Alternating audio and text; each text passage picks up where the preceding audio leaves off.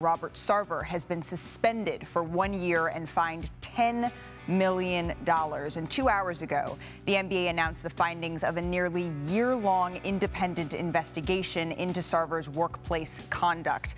The law firm that the league hired found that Sarver, quote, used racially insensitive language, treated female employees unequally, made sex related statements, and treated employees harshly, even bullying them at times. And there is a litany of incidents portraying this behavior, including Sarver forwarding emails to some male leaders with photos, quote, of nude women and a video of two people having sex.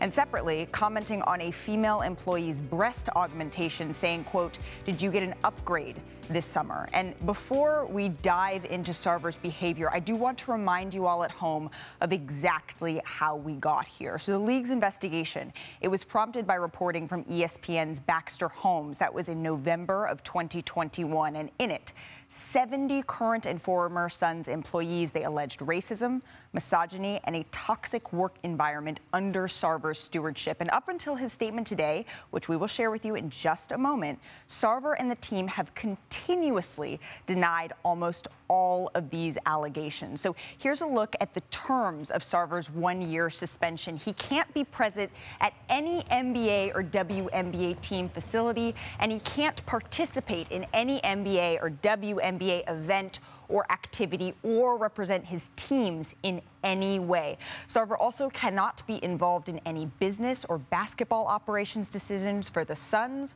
or for the Mercury, and he was fined $10 million. As I mentioned, that is the maximum allowed by the NBA bylaws. Here is an excerpt from the statement from Robert Sarver in which he writes, while I, quote, disagree with some of the particulars of the NBA's report, I would like to apologize for my words and actions that offended our employees. I take full responsibility for what I have done. I am sorry for causing this pain, and these errors in judgment are not consistent with my personal philosophy or my values. So for more here, I do want to welcome in our senior NBA insider, Adrian Wojnarowski. You've been reporting on this investigation throughout the year. Why, Woj, did the NBA decide on this specific punishment? Well, Malika, the, the $10 million is the max, uh, the maximum the league could fine uh, Robert Sarver. But, but more importantly was uh, the, the length of suspension and whether it would be more than a suspension, whether they would uh, suspend him, ban him for life, as they did with Donald Sterling, and mm. then move uh, and then at that point moved to uh, try to get a three quarters vote of the league's owners uh, to force him to sell. And the league didn't go that far. A one year suspension, uh, but he can be back running this team certainly. Uh, at the end of that, and Malika, there are many people around the league today who feel like Robert Sarver is very fortunate that he only has a one year suspension, um, that he has not uh, lost control of this team, and this is not headed for a vote among his peers uh, to force him out. So we just heard, or saw rather, part of Robert Sarver and the Phoenix Suns statement that they released just hours ago. What are you hearing, though, Woj, about Robert Sarver's reaction to his suspension and the $10 million fine? And Malika, it's, it's not surprising that the word disagree appeared in the statement before uh, an apology did.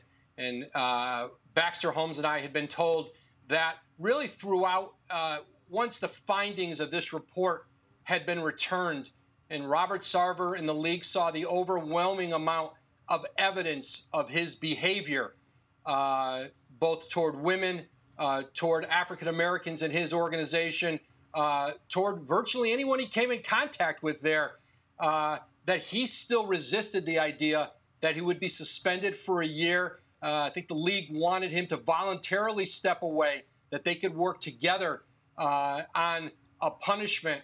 And I'm told, you know, that Robert Sarver throughout the process uh, w- was very difficult about that, that it became acrimonious.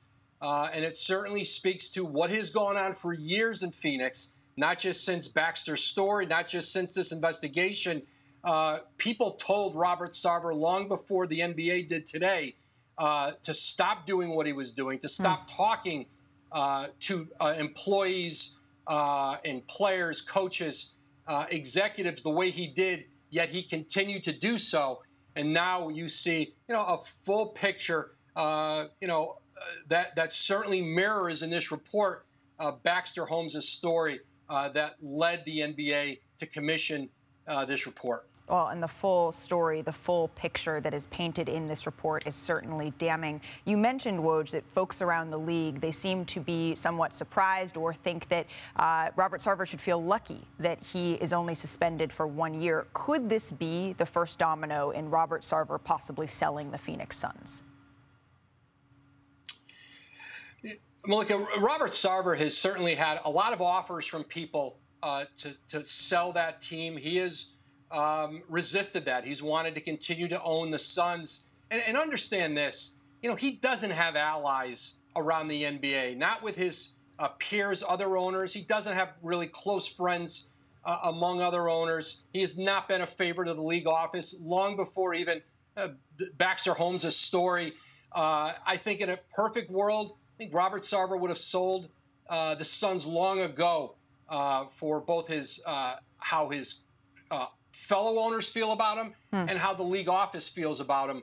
But getting a three-quarter vote of league owners, uh, the, of the board of governors, uh, to force an owner to sell is difficult. Even if they condemn what Robert Sarver has said, even if they don't like him personally, don't like how he does business, how he represents the league, you know, there's certainly uh, and I think Mark Cuban talked about this back with Donald Sterling, the slippery slope of uh, of other owners feeling like they become targets uh, to lose their teams, maybe not in similar circumstances or having done, done or said the things Robert Sarver said, said uh, but the feeling like that they've all become vulnerable at that point.